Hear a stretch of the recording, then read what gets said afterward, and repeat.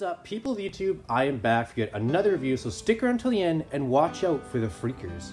I'm your host, Save our Planet Entertainment, and this is Days Gone. Don't go away.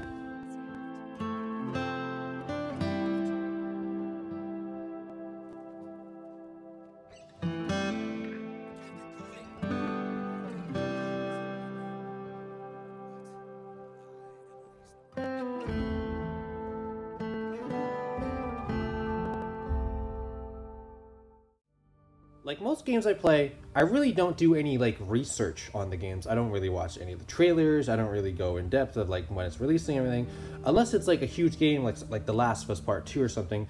I just you know see the first trailer and think you know okay, Days Gone, zombie survival game, could be interesting. Three years later, on April 26, 2019, said zombie game is released, and a few months later, I finally got my hands on it. It played, you know, pretty much exactly how I expected. If Days Gone was a recipe and it had three main ingredients, I, I would put number one, zombies, number two, survival, and number three, romance. This was a huge surprise. I thought I was getting into a zombie killer game with maybe a bit of a story, let alone a story as compelling as this one. There's a large, uh, varying cast of characters with Deacon as the star of the show. And uh, along with that, this, the story with Deacon and Sarah, I mean, I will get more into that in the overall impact category, but you still have a wide range of characters throughout Days Gone, which in turn is the foundation for the story. The setup is simple Deacon and Sarah are married. Zombie outbreak happens. Some random child stabs Sarah in the gut. They go to get on a helicopter, but there's only room for one. So Deacon says, Don't worry, I'll meet you at the landing point. So they go to the landing point, Deacon and Boozer, that is, and they find an absolutely destroyed helicopter and everything's absolutely destroyed. Sarah must be dead. Two years later, there's whispers that Sarah might be alive thanks to Nero Outpoint boy O'Brien. That's the setup of the story. It, it's pretty it's pretty simple. There's there's zombies everywhere. Sarah might be alive. This little glimmer of hope, and it works really well for such a simple story. Zombies, or as this variation calls them, freakers. You can fight regular ones. You can fight the big ones, the fast ones, the, the screaming ones. You can also fight zombie bears, zombie wolves, zombie birds. On top of regular humans you fight on a day to day basis in Days Gone, fighting scenarios can really vary.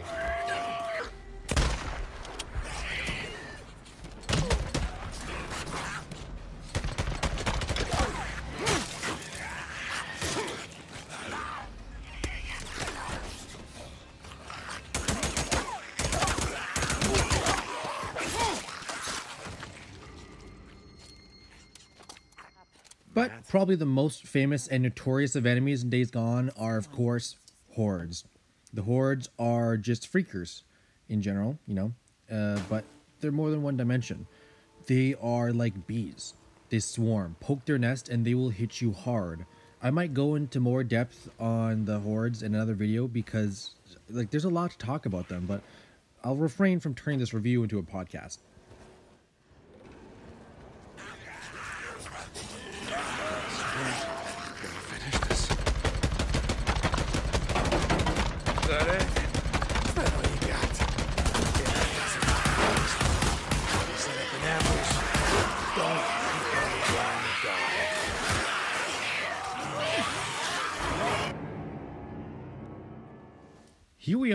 Gameplay 93 out of 100 pros. Great story and, and great characters and varying gameplay. And combat is great. Cons? A few glitches. It's a little bit rougher on the edges. Uh, engines, edges. I mean, it's just a couple little things like you lose frames at some areas and maybe like you go to interact with something but he like does it like she spins in circles or some weird shit it's like it's a little bit rough but it's not the craziest thing i've ever seen moving on though second category presentation Ask for a little energy, huh? Could use this again.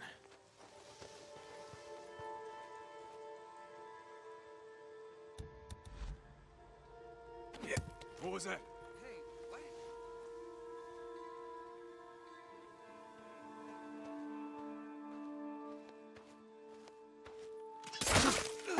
Oh, yeah. Here's a little chaos for you. Presentation in Days Gone is very, very strong. Just in the voice acting alone, Sam Witwer, Whit- Whitweir, you, you did it. He does an amazing job as Deacon, and I gotta say, uh, Nishi Munshi, uh, hopefully I got that right, but the voice actor for Rikki, it, really well done. Those are the two, Deacon and Rikki. I felt were really a step above in the voice acting category compared to everybody else. I want to ride up north, check out the hydro dam, just to see why it shut down. Oh no, riding escort, that's Skizzo's job. I don't need an escort. You lived up there, you know the area better than anyone. Deacon, you asked for my help, right? There isn't a lot to talk about in the uh, open world, at least. It's not the most uh, beautiful scenery I've ever seen in an open world, but I'm not surprised since all of the characters in Days Gone literally call the open world the shit. So, you know, there's that. But my main point about Days Gone in the presentation side of things, the soundtracks.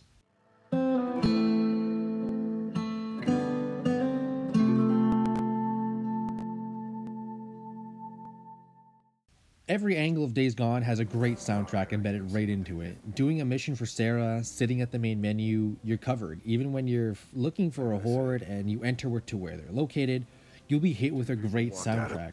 Uh, it's intimidating. It's like uh, devouring. It's it's suffocating. The soundtrack for when you're looking for a horde or you're around zombies is great. You know, you hear that and you go, "Oh shit, here we go again." You know, I often say as a metaphor, it's best for soundtracks in all types of entertainment. It's it's best used as an ingredient, not a layer. It should be baked in, not put on top.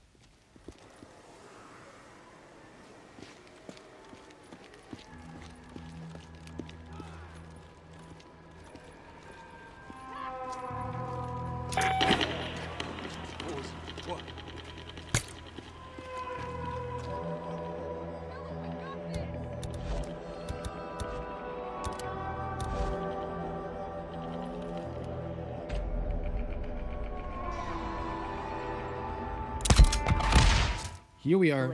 Presentation 82 out of 100. Pretty good. Bros, great voice acting across the whole board. Uh, I do think that uh, Rikki and Deacon were the two best, but you know also well done soundtracks. In in today's uh, world, there's not that much emphasis on soundtracks, which is a shame. But I think Days Gone really nailed it. And cons, open world isn't too impressive, so that's kind of a con. But moving on, we still got the last category, overall impact. Let's go. Hey, Hey. I got those parts that you asked for. Oh, great. Well, uh, check back in a few. I'll see what I can do, yeah? Uh, Rikki. Thanks. Yeah. Boozer's one of us now.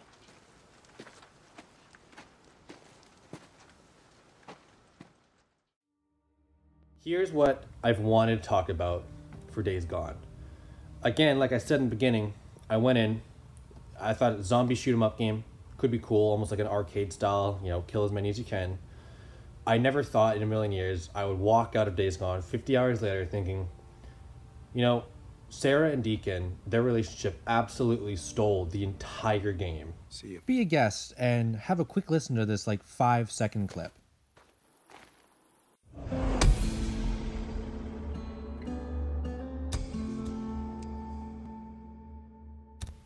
That little five second guitar riff symbolizes the entire 50 hour experience of Days Gone for me.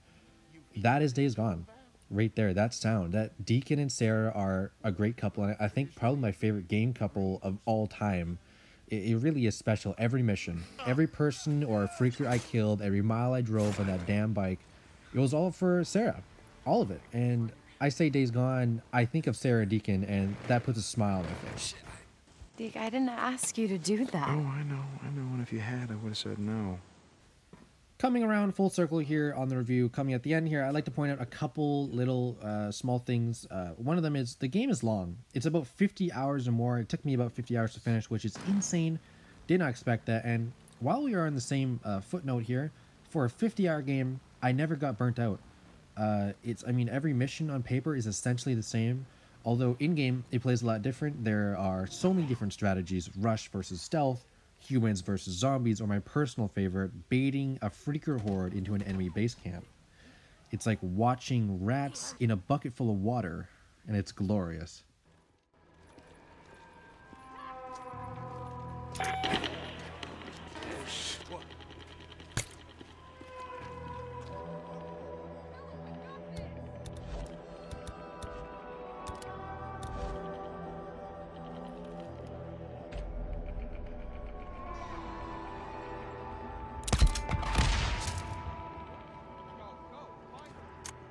Yes. First one down, now the rest of you. Come on, show yourself. We won't kill you, promise. Yeah, Bunch of murdering sons of bitches. You like the sound of vibrations, yeah? yeah? There's another one. I got you now, asshole. Wonderful.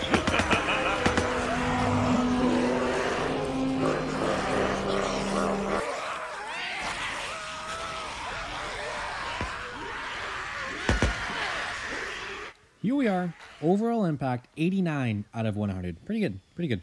Pros, very good game. Overall, Days Gone is a great game. Deacon and Sarah uh, together are just uh, unbelievable and memorable theme. The game has great soundtracks. It's overall great. Cons, really no huge cons. But here we are. Boil all the numbers down. What do we get? 8.8 out of 10. Pretty damn solid. It's actually really hard to get a high score for me because I'm pretty critical of games, but Days Gone really did impress me. So that's it. Days Gone is done. It was it was really damn good. I say maybe even a contender for game of the year 2019. Might be a little early to say that though as I still have a few games I want to get my hands on. But for now, I'm your host, Save our Planet Entertainment, and I hope you enjoy this review. Peace.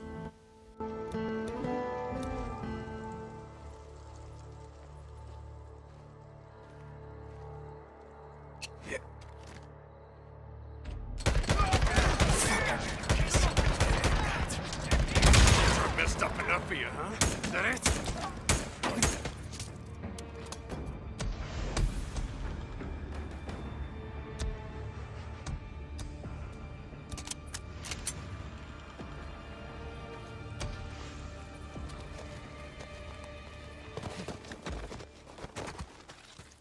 Cope, it's done. If there's any more of them, maybe they'll get the message. Stay out of our land. Thank you for sticking around to the end of the video. If you want to support my channel, make sure to like and subscribe for future videos. I cover all areas of entertainment from books to movies, TV shows, and games, all the above. And if you're really dedicated, I do have my Patreon links in the description. Anything that's donated to my channel in any way necessary, half of it is going back to charity because it's the least I can do. So hopefully you enjoyed the video and have a great day. Peace.